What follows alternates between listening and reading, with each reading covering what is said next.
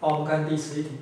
它如右图了哈，用单色光哈做双小网实验，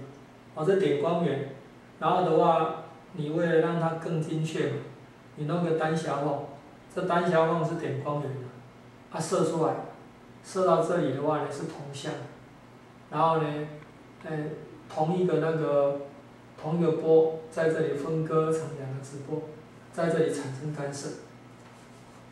好，他说 P 处为第二暗纹的位置，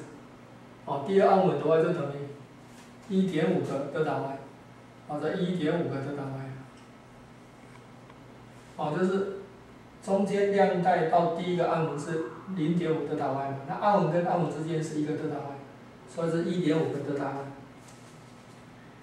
好，他说改用频率较高的单色光重做实验，其他不变。则第二第二暗纹的位置怎么样？那我们知道这个德塔 Y 哈，是等于低温之 r 兰塔。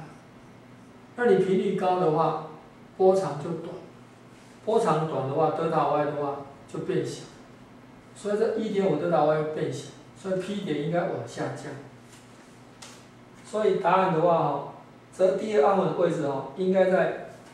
原来 P 点的下方所以答案应该选 C。